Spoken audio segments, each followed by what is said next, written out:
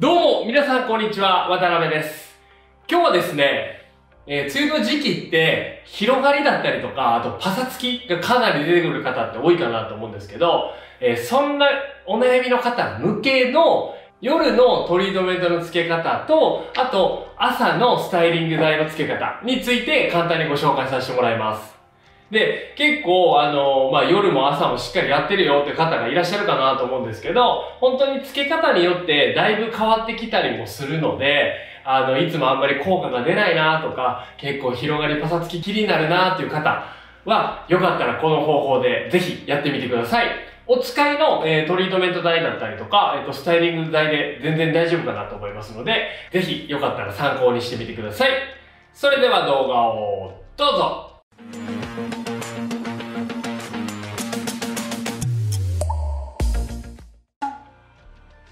お風呂上がり、まずは、あの濡れてる状態からしっかりと溶かします。で、溶かす時なんですけど、毛先から中間、で、根元付近まで溶かしてあげます。で、根元の元はそこまで溶かさなくていいかなと思うので、このトリートメントをつけるところ、毛先とか中間あたりをしっかりとまず溶かします。しっかりと溶かせてないとトリートメントが均一についてくれないので、しっかりと溶かしてください。クリームタイプのトリートメントをしっかりと手に伸ばして、で、つけるのは、まあ大体襟足からの毛先からですね、つけて、この内側からつけるようにしてください。で基本的に多分皆さんつけるときって上からつける方が多いかなと思うんですけど、この表面から。なるべく内側からしっかりとつけてもらって、最後に表面をつけてあげる。このような流れでつけるようにしてください。で、つけ終わった時に、ちょっとだけぬめりというか、ぬるっとした感じの質感に髪の毛がなってれば OK です。反対側にはオイルをつけていきます。先ほどと同様に襟足の方からつけて、内側ですね。からしっかりとつけるようにしていってください。で、オイルも同様にちょっとぬるっとした感じになってれば OK です。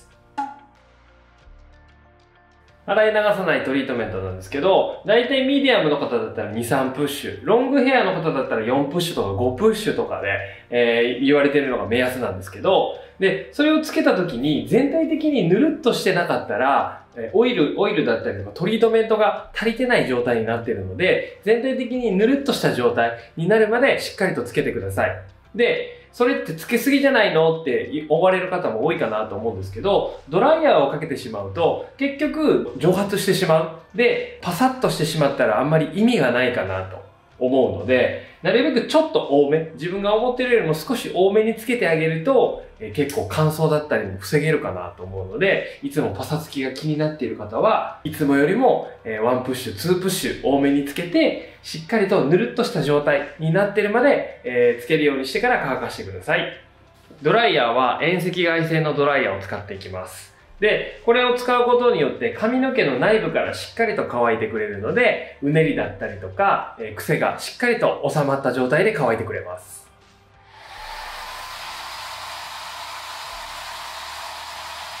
で、ドライヤーをし終わった状態です。で、癖がある方は、ここでちょっとブローだったりとかして、癖を伸ばしといてください。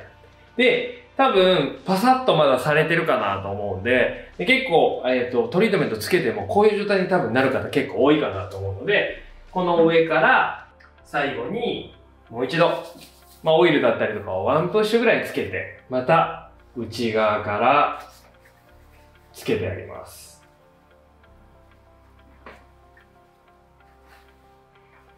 で、髪の毛がこう収まるぐらいですね。まとまるぐらい。なんかちょっと少し軽くついたなーって思うぐらいつけてもらって、このまま夜は寝てください。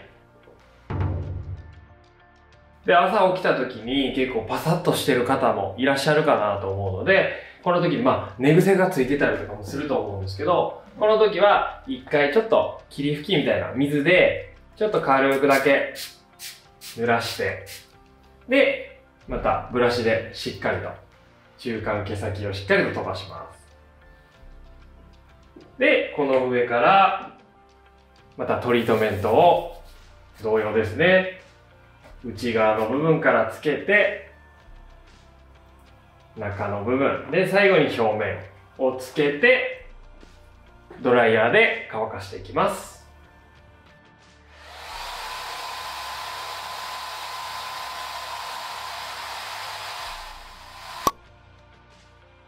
で、ある程度まとまったらスタイリングなんですけど、髪の毛の量が多い方とかだったら、オイルタイプのスタイリング剤。で、髪の毛が柔らかい方とかだったら、バームとか、ちょっと軽めのクリームみたいなやつをつけてもらうとベストかなと思います。で、つける量なんですけど、さっきの洗い流さないトリートメントよりは少なめの方がいいかなと思います。なぜかというと、結構ベタベタになってしまう可能性があるので、まあ大体2プッシュぐらい。で、まず様子見た方がいいかなと思うので、まあ下の方から、襟足の方からしっかりとつけて、中の部分ですね。このな、やっぱ中の部分をしっかりつけるっていうのが、トリートメントとかスタイリング剤とか結構重要になってくるので、ちょっとめんどくさいんですけど、しっかりとつけるようにしてください。で、なるべく毛先中心。なぜかというと毛先は結構ダメージが多くて結構広がりやすいところなので、えー、しっかりとつけてあげる。で、中間の部分につけて。で、最後に表面をさらっとつけてあげる。でこうすることによって髪の毛一本一本コーティングされるぐらい全体的にしっかりとついてあげると、湿気だったりとか、えー、汗だったりとかで、ちょっとうねりづらくなってくるので、ここも、ちょっと量は少なめなんですけど、しっかりと全体的につけるようにやってください。つけたら、まあちょこっとだけブラシだったりとかで溶かしてあげる。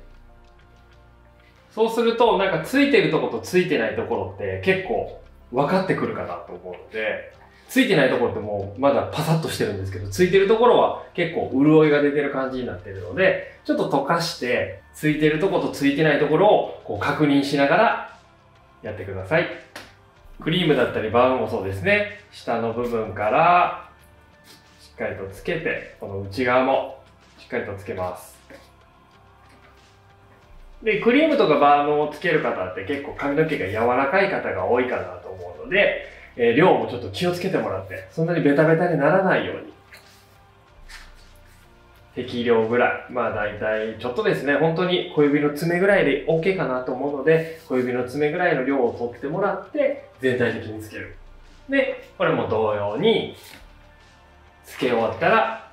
ブラシでちょっと溶かす。ブラシでも櫛でも何でもいいです。しっかりと溶かしてあげて、そうすると多分ついてるとことついてないところが分かってくるかなと思うので、これがしっかりとついてれば、うねりだったりとか、パサつき、青毛みたいなのも少し抑えれます。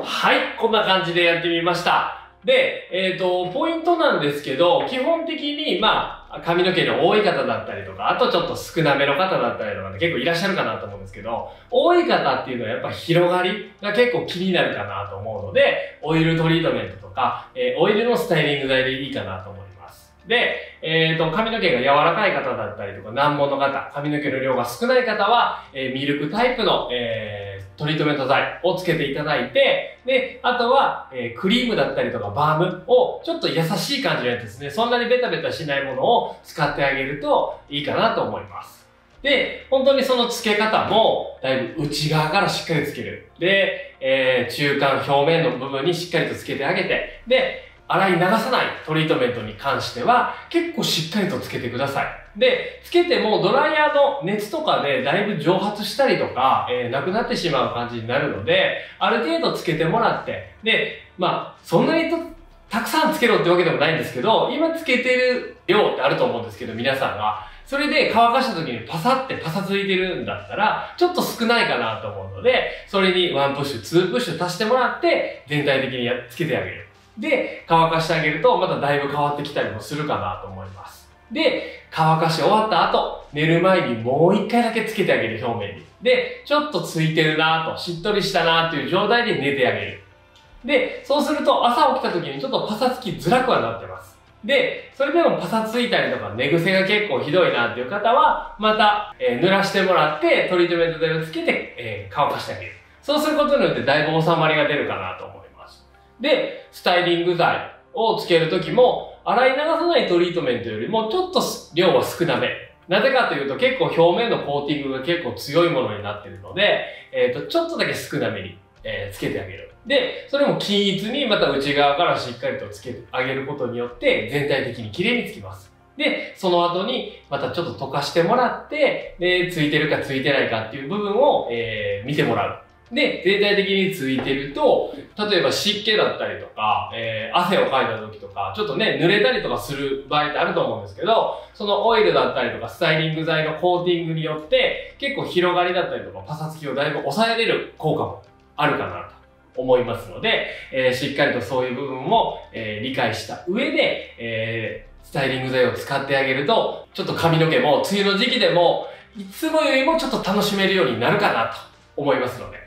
ぜひよかったら参考にしてみてください。で、ちなみに巻いたりとかされる方もいらっしゃるかなと思うんですけど、えー巻いたりとかするのは、えー雨とかちょっと湿気が多い日はあんまりやめてください。どちらかといったらストレートで、えー収まってる方が、スタイリングが、え長持ちしやすいかなと思います。巻いたりしてスプレーをかけ、かけてしまうと、ちょっと髪の毛がガビガビになってしまって、で、あの、カールもダラーンとして、ちょっとテンションも下がってしまう可能性もあるかなと思いますので、えーストレートの状態で、今回やった方法でしていってください。あの、髪の毛ってやっぱりその毎日の習慣だと思うので、えー日々の積み重ねでだいぶ変わってくるかなと思うので、このルーティンをしっかりと髪の毛に覚えさせて、えー自分もしっかりとできるようにやってあげると、また髪の質感も変わってくると思うので、えーぜひ覚えておいていただいて、実践していただけたらなと思います。なので、よかったら参考にしてみてください。